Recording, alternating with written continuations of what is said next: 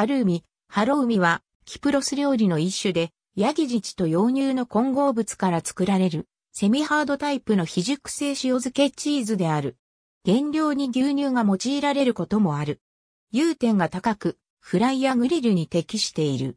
ハルーミの製造にはレンネットが用いられ、酸や酸酸性細菌は用いられない。ハルーミは、キプロス、ギリシア、レバント等で人気がある。最近では、イギリスでも非常に人気がある。ハルーミはキプロスが原産で、東ローマ帝国時代の間に初めて作られ、中東地域に広まっていった。グリルしたハルーミこのチーズは白く、モッツァレンラのような目立つ層構造を持ち、塩味がついている。塩水を含む原液に浸したまま保存され、引く、摂氏18度以下で凍らせると、最大1年は保存可能である。しばしばミントが飾られる。伝統的にミントの葉は防腐剤として用いられている。この習慣はミントの葉で春海を包むとより新鮮で風味豊かな状態が保たれたという偶然の発見から始まった。この伝統に従って販売される春海の多くにはチーズの表面にミントの葉のかけらがあしらわれている。スライスした生のハルーミこのチーズは料理に使われることも多く、茶色になるまで揚げても溶けることはない。そのため、サガナキ等のグリルにされたり、野菜と共に揚げ物にされたり、サラダの材料に使われる。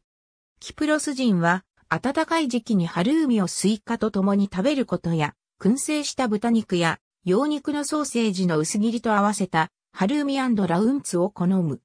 融点の高さは、成形され塩水に入れられる前に加熱される新鮮なカードに由来する。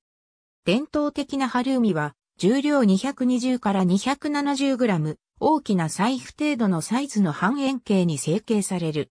含まれる脂肪分は、質重量の約25%、含重量の約47%で、タンパク質は約17%である。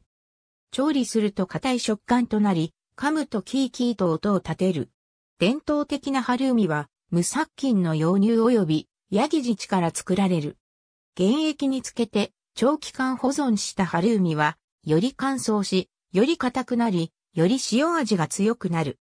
レバントや東地中海における文化の混合のため、春海の起源については議論があるが、春海は1990年代からアメリカ合衆国においては、キプロスの製品として保護されている。しかし、欧州連合では、まだこのようなことは行われていない。この遅れは、乳製品製造業者と羊乳やヤギ自治の生産農家の間で、公認の春海に牛乳を含んだものを認めるか否か、またそうであれば、羊乳とヤギ自治の割合をどうするかについて、意見の衝突があったことが大きく影響している。多くのキプロス人は20世紀にイギリスから導入されるまで島には牛がほとんどいなかったことから伝統的にハルーミは羊乳とヤギ自治からできていたことを認める。しかし、需要が大きくなってくるにつれ、チーズ業者はより安くより豊富にある牛乳を原料に加え始めた。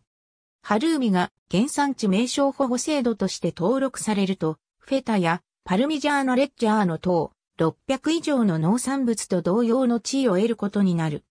エジプトのハルーミは、キプロスのハルーミと似ているが、本質的に異なるチーズであり、生のままか塩漬け、またはスパイスにつけて食べられる。名前は、コプト語でチーズを意味する、ハリムに由来し、古代エジプトでも食べられていたと信じられている。ハルーミという言葉は、おそらく、アラビア語に由来すると考えられている。市販されているハルーミ 100g の典型的な組成は以下の通りである。ウィキメディアコモンズにはハルーミに関するカテゴリーがあります。ありがとうございます。